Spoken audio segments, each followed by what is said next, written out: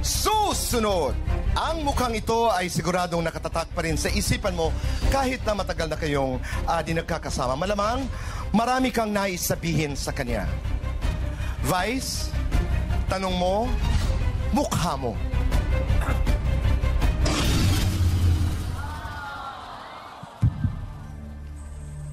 Your father, Mang Rinaldo. Bibigyan kita ng ilang segundo para mag-isip at buuin ang iyong katanungan. Vice, handa ka na ba? Opo. Ibato mo na ang tanong mo sa iyong ama, si Mang Reynaldo. Kasi nung nawala siya, di pa ako ganito eh, Tito Boy. So kung makakausap ko siya ngayon, ang itatanong ko, Tay, ano pong gusto niyong sabihin sa akin? Kasi gusto ko malaman kung anong kayang naiisip niya, kung ano kayang nararamdaman niya. Halimbawa lamang, Vice, ah, kung buhay pa ang iyong tatay, kung meron kang ipapakilalang isang minahal mong lalaki sa buhay mo, sino yon? At bakit?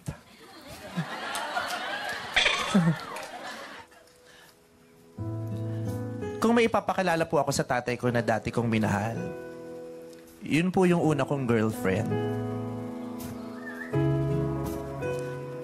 Gusto ko ipakilala sa kanya yon para sabihin sa kanya na sinubukan kong gawin yon na mag-girlfriend nung panahon na yon.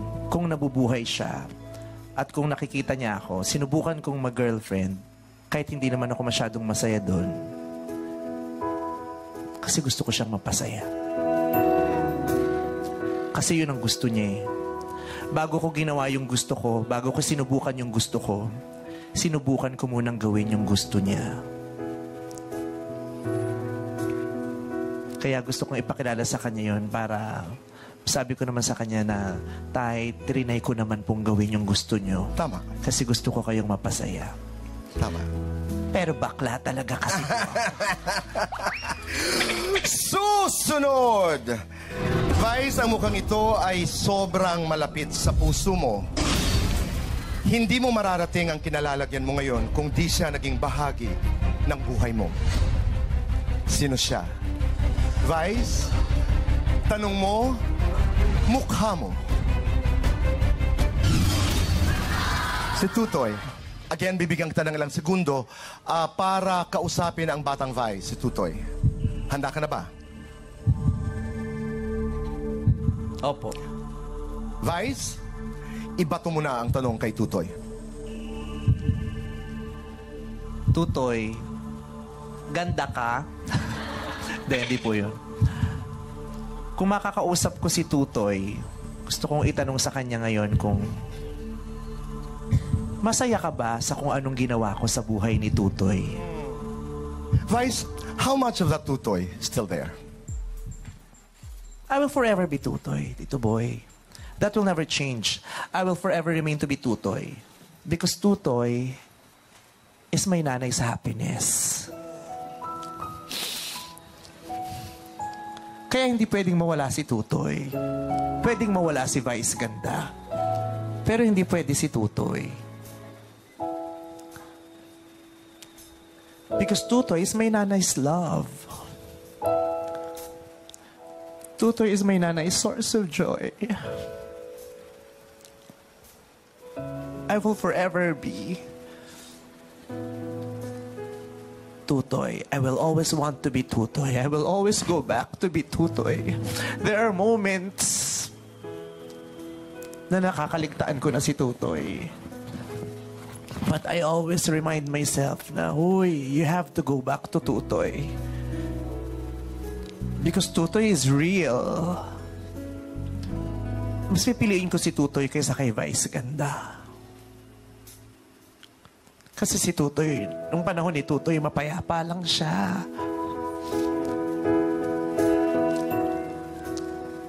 Simple lang siya. Hindi komplikado yung buhay niya. Pero masayang masaya siya. Masaya rin naman si Vice Ganda. Ngayon, masaya si Vice Ganda. Pero iba yung saya ni Tutoy eh. Yung dali lang siya ng lolo niya sa...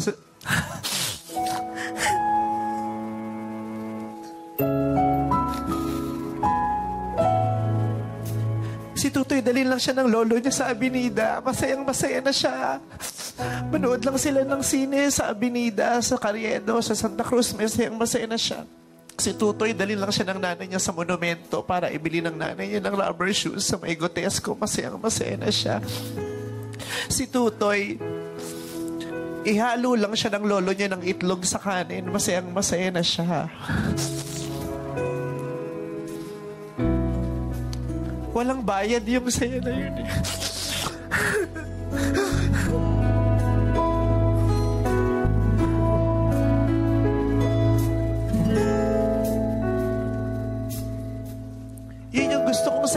Masaya ako. Nandito na ulit yung nanay ko. Kasi yun yung, ito yung sayang gusto ko. Gusto ko yung, kahit hindi araw-araw, makita niya ako, makita kami, mahawakan niya ako ulit. Pumunta kami sa mall, bibili tayo ng sapatos ulit, nanay. Pero ako na yung bibili, hindi na ikaw. Ako na yung bibili ng gamit mo. Baliktad na tayo ngayon. Ako naman yung mag-aalaga sa iyo. ayoko pang mawala si Tutoy kasi hindi pwedeng mawala yung kasiyahan ng nanay ko because that's the most important thing in this world.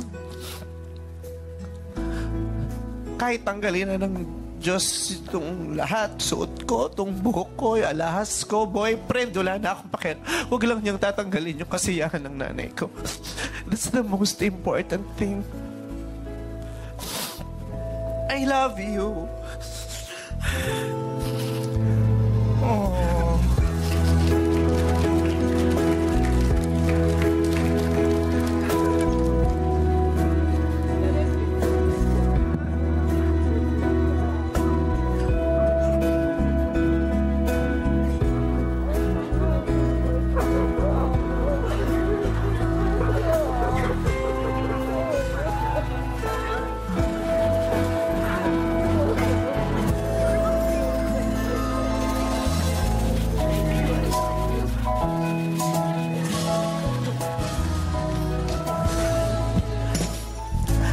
Ay, comedy pala tong GGV na nakalimutan natin. Sabado pala yung MMK. Nakalimutan natin, mother. Baka maloka si Ma'am Charo sabihin nagpalit tayo ng time slot nang hindi tayo nagpaalam. I love you. Smile. We're happy. And we will be happier. I love you. Salamat, Nay. Salamat. Salamat, Nay. Thank you. Thank you, thank you, thank you. Thank you for bringing me into the show. Thank you for sharing your story with us. Maraming maraming salamat. Hindi ka lamang nagbibigay ng kasiyahan sa aming lahat, pero nagbibigay ka ng napakaraming aral without even trying. Your story is your truth. Uh, Tutoy will always be there because you're so connected to the truth. Ang layo pa ng mararating mo, pero doon ang gagaling ang lakas. Doon ang gagaling yung brilyo, Vice, because the little boy will always be there. Thank you, and happy Thank anniversary. you. Thank you so much. Maraming maraming salamat. I love you. I love you so I much. love Thank you, Vice. Sincerely, I love you. From Maraming the- salamat. From the bottom of my heart, Vice. Thank you. Maraming Ganun salamat. ka kahalaga. Salamat. You, you make this celebration more, more special. Thank you. Maraming salamat. Our seventh year is very monumental. At we need you to be here to make this special. Thank you so Thank much. you, Vice. I love Maraming you. salamat. Love you too.